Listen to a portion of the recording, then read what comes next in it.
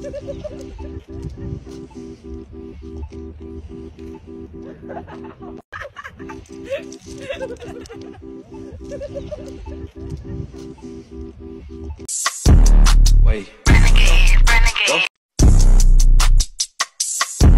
Wait. And I know the pain will fade one day, but I just need to say. I swear, bro, just let me build one more lane. I swear we're gonna fix traffic. Just build, let's build one more lane. Just let me build one more lane. Just let me build one more lane. I swear, I swear, I swear, I swear we're gonna fix traffic. Just, just one more lane and just make it bigger. Just make it bigger. We're gonna fix traffic. It's great.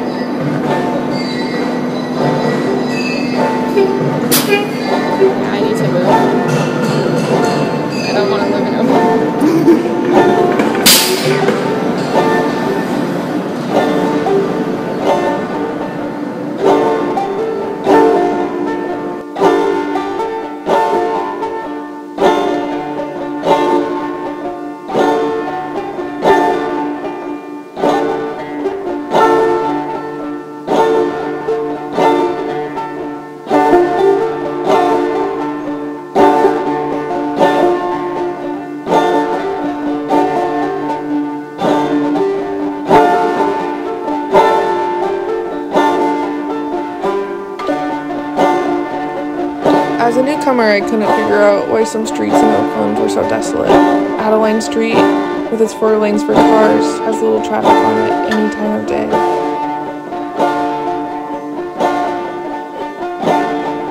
The more I look, the more I find evidence of the key system on Oakland streets. I found out that Adeline Street used to be a very busy streetcar line. It had six tracks of streetcars before the highways were built. Once the highways came, Adeline streetcars' width became obsolete. As I read about the East Bay streetcars, their essence becomes solidified in my imagination. The electric train system was in place in Oakland long before automobiles were popular. In fact, the streetcars helped build Oakland as a city, a city distinguished from San Francisco.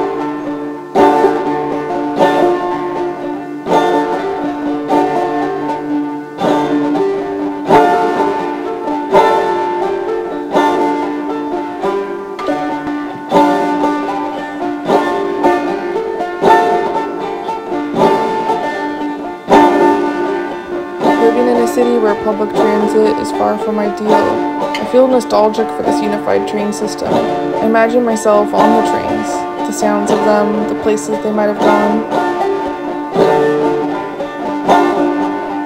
What happened to them? Why did they disappear?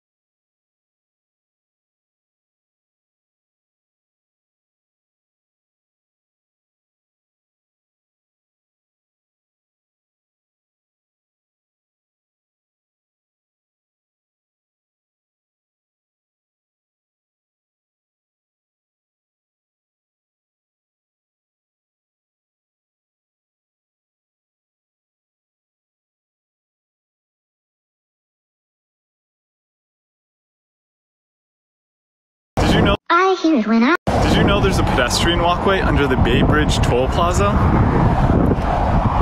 There it is. Uh, pretty subtle and not very welcoming, but.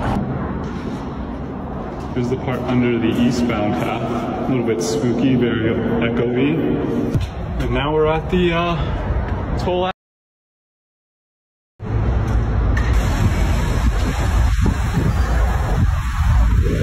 So, update.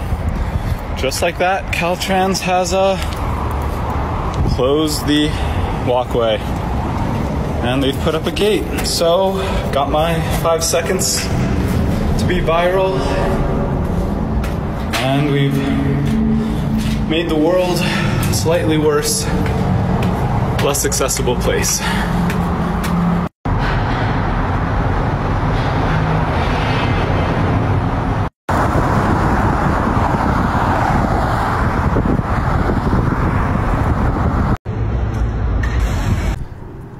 Okay, King. All right, all right.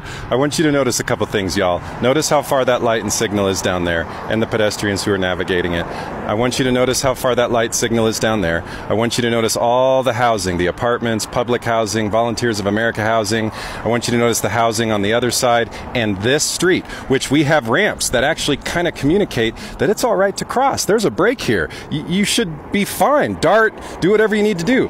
And in this diagonal ramp, a wheelchair powered stroller gets pushed right into the speed of traffic. But what you're saying is that pedestrians should really just be walking or rolling all the way down there to safely cross if they're trying to get here, or go all the way. But this depression, or street dimple, is where Jim Bachor will install one of his Vermin of New York mosaics. Jim, who's based in Chicago, came to New York and intolerable or displaced, taking the time to readjust each one when necessary. This part takes a while. It's Italian glass and colored.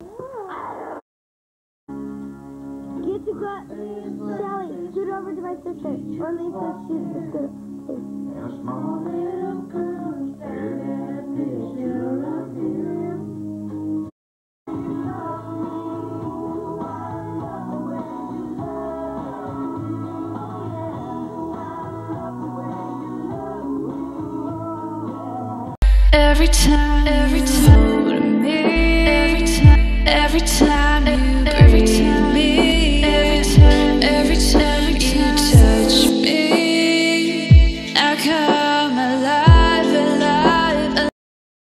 a sidewalk or a curb itself as being famous, but Hayward, California used to be home to one of the most famous curbs, at least in the eyes of geologists. This curb may just look like it's oddly misaligned or poorly built, but it's actually a direct result and record of Earth's moving tectonic plates.